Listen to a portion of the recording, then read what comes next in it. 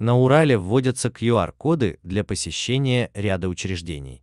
Теперь попасть в так называемые чистые зоны смогут только привитые от COVID-19, либо недавно переболевшие жители региона.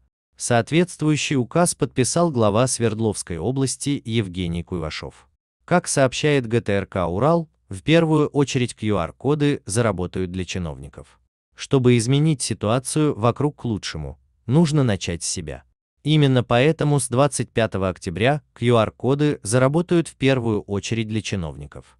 С этой даты все в резиденции и правительстве должны быть привиты от COVID-19 или иметь документ о перенесенной болезни. Срок действия полгода. В противном случае сотрудник будет отстранен, заявил Куйвашов. По его словам, это же правило распространяется и на муниципальные администрации. Также с 25 октября любому жителю без прививки нельзя будет попасть в музеи, библиотеки, выставочные центры и спортивные объекты. С 8 ноября эти же правила начнут действовать в театрах, филармониях, концертных площадках, кинотеатрах, кинозалах, дворцах, домах культуры, салонах красоты, санаториях, а также базах отдыха.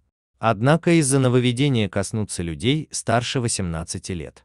Напомним, из-за ухудшения эпидемиологической ситуации уже 38 регионов РФ объявили у себя обязательную вакцинацию от COVID-19 для отдельных категорий граждан, а в 26 действуют системы QR-кодов. Об этом свидетельствуют данные Роспотребнадзора.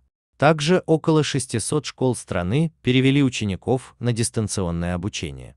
Улучшить ситуацию с COVID-19 может помочь только вакцинация, говорят эксперты.